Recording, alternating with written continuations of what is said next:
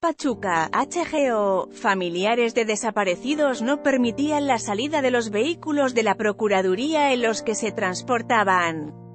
Los cadáveres calcinados de 63 de las 66 personas que fallecieron. La información contradictoria que se les dio respecto a los sitios donde serían llevados y el proceso de identificación generó molestia. Suman 66 muertos y 76 heridos tras explosión.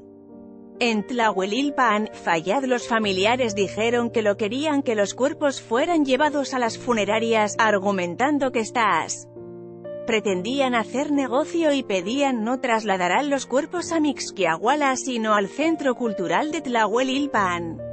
No tenemos dinero para ir hasta allá, ni tampoco hay gasolina, gritaba Maribel Vera. También causó enojo en la población que tras el retiro de los cuerpos calcinados, los peritos comenzaron a retirarse. La gente exigió que regresaran y abrieran la zanja que, la noche anterior para apagar el incendio llenaron de tierra.